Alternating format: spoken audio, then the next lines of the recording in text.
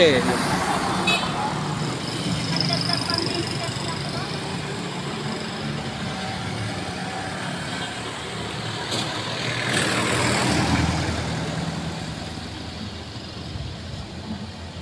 Harap, ito yung harap ng North Common. Saka ng Dirjo. Ito yung pinakaharap. Yan. So, ikot lang tayo. Yan. So, just in case na pupunta kayo. Yan. Ito yan. Pakita ko lang yung place. Yung labas.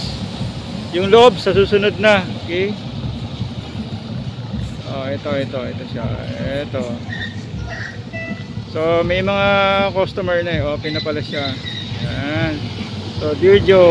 Ito yan.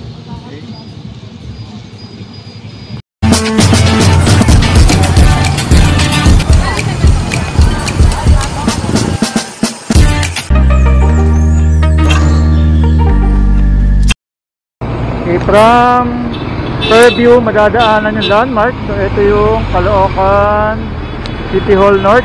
Ayan. So, dito, kung dito kayo dadaan. Ayan. So, ito naman yung harap ng Caloocan City Hall North. Ayan, yung Macdo. So, medyo umulan. Doon tayo pupunta sa Sapote. So intersection ng Sapote. So doon ako galing kayo na sa City Hall. So ito yung paano mo nalaman malapit ka na sa Dear Joe. So ito yung intersection. Landmark 7-Eleven, Mercury. Tapos ito siya. So way ng bagong silang. Yun. So hindi dyan, doon tayo. Yun, doon. Sa kabila. Ayan. So, ayan. Tumawid lang ako sa kabila. Ito yun. Okay. So, laging traffic dito eh. Ayan. So, doon tayo. Yun.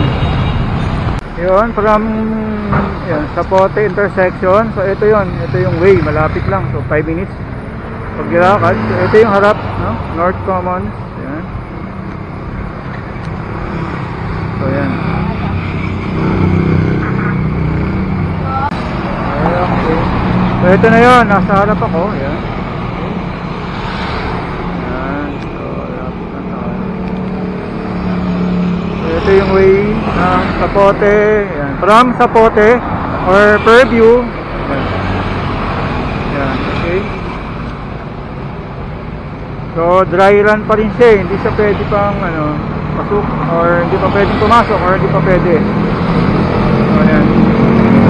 So again, from Sapote, manggagaling ka ng Fairview, Sapote, yun, yun ang, yun manggagaling, so ito.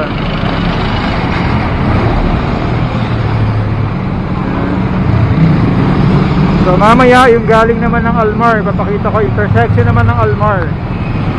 Doon yun eh.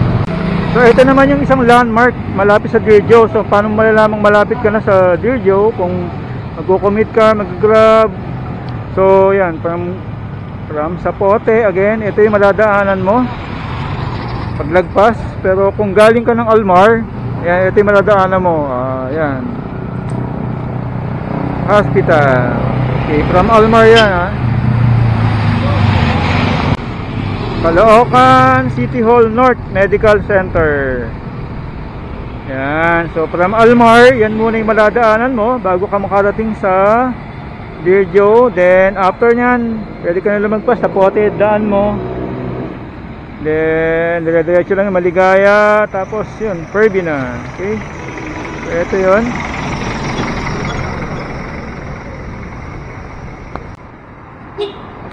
Yan. So, ito pa isang landmark, galing ng Almar, yan. Dadaanan mo din yung Pure Gold, so katabi lang siya ng Ayan, ka kabila ng hospital. Okay. Makikdomay muna ako. Nadaan ako yung dati. Ingay ng jeep. Ayan, Siomay muna ako bago ako pumunta ng Almar intersection. So again, ito yung pure gold. Ayan, then hospital. So from Almar, ayan, bago makarating ng Dirjo. Ayan. So for the meantime, yun, siomay muna. So may muna tayo bago tayo pumunta ng Almar. Ayan. So, ayan. Maladaanan mo din to bago makarating ng ayan, Virgo, Chomai.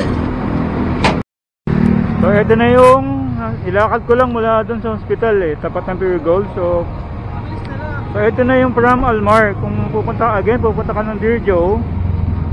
Ito na yung uh, kung galing ka ng Almar. So yung oras is 6 o'clock na kaya medyo traffic. Yan. So mamaya pupuntahan ko yung kanto. Ha? Papakita ko lang sa inyo kung ano yung intersection ng Almar. Pakita ko ng tulay. Yan. So ito yung tulay ng intersection ng Almar. Pakita ko ng tulay. Yan. So nasa taas ako ng overpass or yung yan, yung tulay. So yun yung from Sapote. So kung manggagaling ka ng Almar, mamaya bababa ako, pangit tignan na nasa harap. So, okay?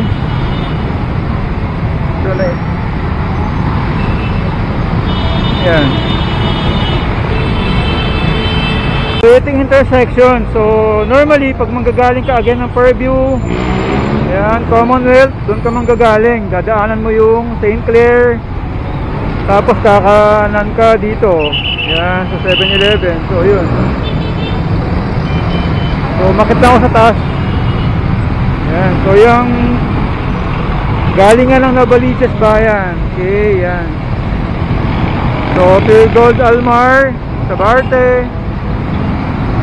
Yan. So, ito na yun. Okay.